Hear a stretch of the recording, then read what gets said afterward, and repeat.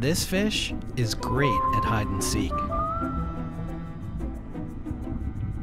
But trust us, you don't want to play against him.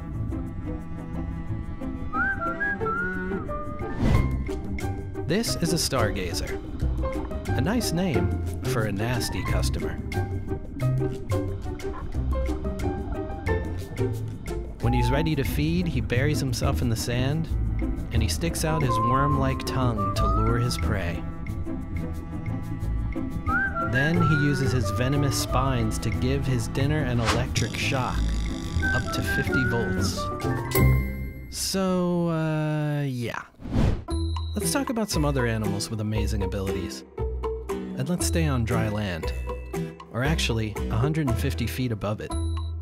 These wild goats, called ibex, are able to climb this nearly vertical dam in Italy.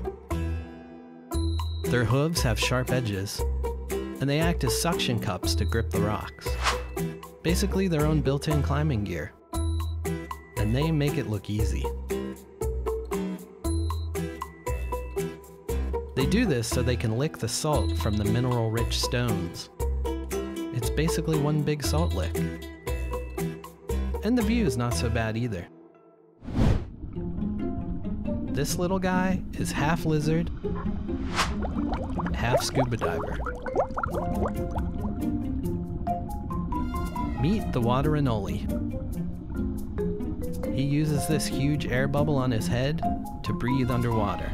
In fact, he can stay under for up to 16 minutes. And counting.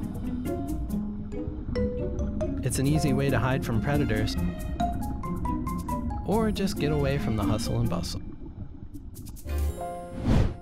The next time you're strolling on a beautiful white sand beach, be sure to thank this guy, the humphead parrotfish.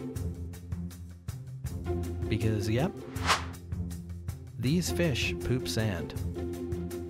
Lots and lots of sand.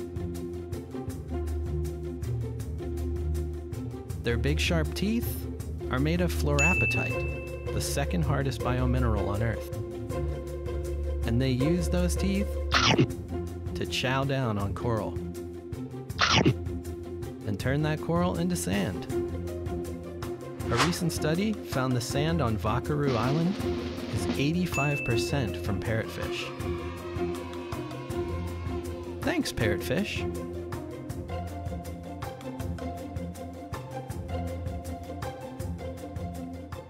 Like, comment, and subscribe.